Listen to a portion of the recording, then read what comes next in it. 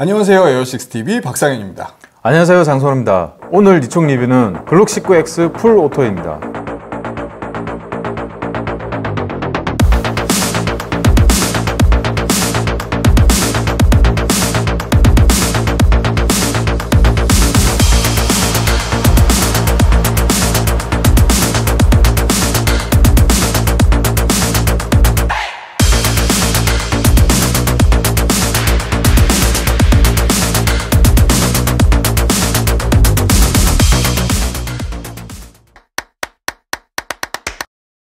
그냥 글록 19X 아니에요? 구독자분이 보내주셨는데 여기서 주목할 거는 슬라이드 좌측면이지 어? auto야? 언제 이런 게 나왔었나? 실총은 몇 년 전에 잠깐 이슈가 있었는데 양산된 건 아니고 테스트로 만들어진 모델을 보고 구독자분이 영감을 받으셔서 제작을 하셨다고 해요 실총은 Black Rifle 유튜브 채널을 통해서 공개가 됐었는데 AGL 6 seconds mount와 Aimpoint T1, SureFire XH35가 장착되어 있고 full auto로 개조가 되면서 select는 18C 양산품은 아닌 것 같은데 슬라이드는 표면 도장이 깔끔한 걸 보면 테스트 삼아 만든 제품인 것 같아 보내주신 구독 제작자분이 동일하게 구현하기 위해서 6 seconds 마운트와 T2 레플리카를 장착을 했고 글록 18C blowback unit과 해머 unit을 가공 장착하셨다고 해. 그리고 실총용 캐그웍스사의 Extended and Raised Slide Release도 가공 장착하셨다고 해. 근데 말이 가공 장착이지 정말 가공 엄청 많이 했을 거야. 그럴싸한데요? 슬라이드는 Cerakote로 다시 도장하신 건가? 브론트 브론즈 색상이라고 하는데 색감은 꽤 괜찮은 것 같아. 그리고 슬라이드는 selector 레버를 이식하기 위해서 가공이 필요한데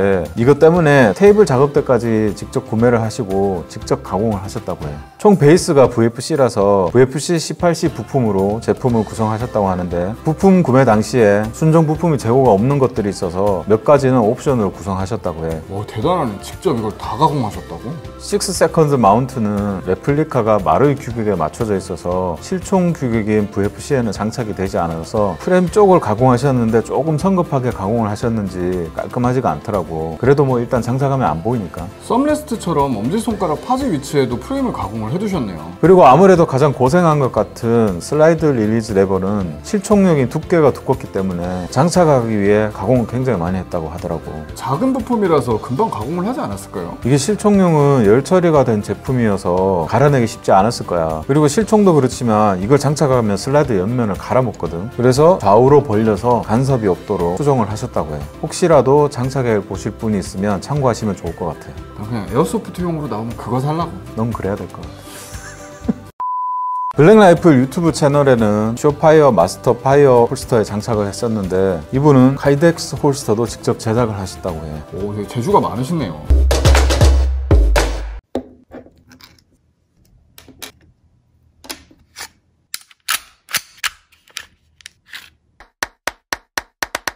와 이게 내부를 보니까 가공한다고 엄청 고생하셨을 것 같기는 해요. 슬라이드는 가공이 깔끔하게 잘 된 것 같고 18C 유닛 장착할 때 해머 쪽 부위 가공을 좀 하셨다고 해. 앞서 얘기한 대로 mount 치수가 달라서 가공한 부분과 특히 슬라이드 레버는 VFC 순정과 형태와 두께가 완전히 다르기 때문에 갈아낸다고 고생을 엄청 하셨다고 해. 형도 글록 Gen3 슬라이드 레버를 MB로 단다고 가공하고 장착하셨었잖아요. 그건 같은 회사 제품이라서 요령껏 갈아내면 되는 쉬운 난이도지만 열 처리되어 있는 소재 소재는 그거랑 난이도가 완전 달라. 보충 설명을 하자면 가공이 끝난 다음에 열 처리를 하기 때문에 열 처리가 된 걸 다시 가공하는 게 굉장히 어려워.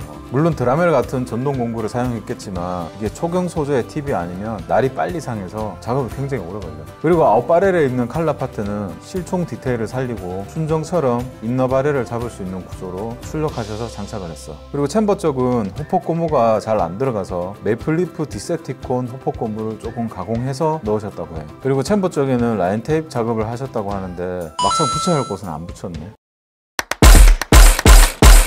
집탄 체크는 10m에서 3번씩 3회 가스는 그린가스, 뷰탄은 0.2g 탄. 현재 실내 온도는 20.1도 매거진의 온도는 21.2도입니다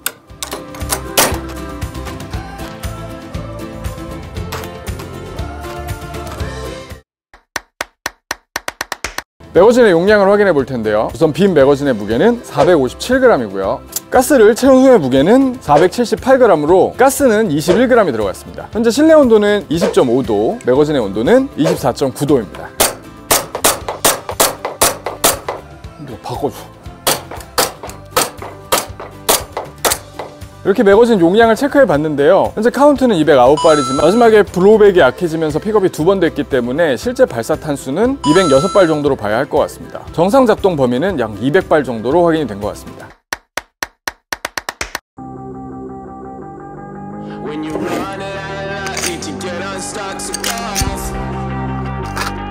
When you're up against the wall and you cannot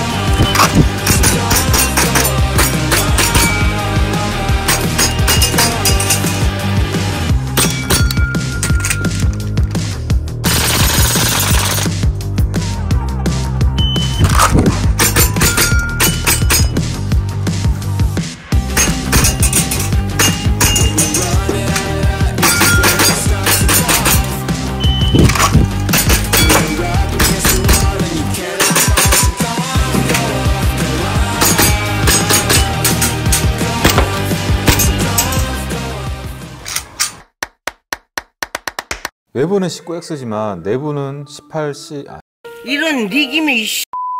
외부는 19X지만 내부는 18C unit이라서 그런지 한 탄창 시원하게 연사는 잘 되는 것 같아요. 그리고 실총처럼 가늠쇠 가늠자가 없는 상태로 세팅을 하셨는데 GBB는 구조상 가늠자가 없으면 blowback unit이 고정이 안 되기 때문에 너트로 고정을 하셨어. 이 부분은 차라리 슬라이드 후퇴용 레버를 출력해서 장착을 했으면 어떨까 싶어. selector 레버와 release 레버 위치 때문에 슬라이드 잡기가 조금 애매해졌거든. 저는 이 제품을 매치해서 사용하진 않겠지만 게임에서 사용하기에는 진짜 세팅이 잘 된 것 같아요. 특히 속사하면 냉각되는 시그 M17, M18이랑 다르게 냉각이 엄청 심한데도 슬라이드 스톱도 잘 걸리는 걸 보면 글록이 대세인 데는 확실히 이유가 있는 것 같아요. 그리고 슬라이드 release 레버는 작동 시 간섭도 없고 위치도 진짜 좋은 것 같더라고요. handgun 하나로 게임 뛰기 딱 좋은 세팅인 것 같아요. 개인적으로는 이 mount와 세트인 magwell도 함께 장착을 했으면 더 좋지 않았을까 싶기는 하더라고요.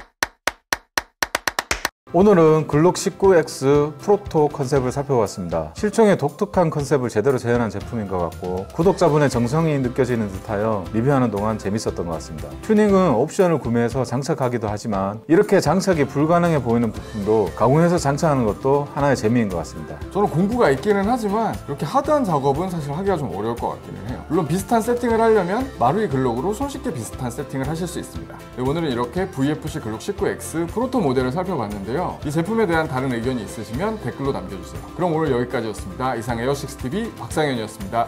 장선호였습니다. 근데 네가 공구가 어딨어? 이런 니김이 씨.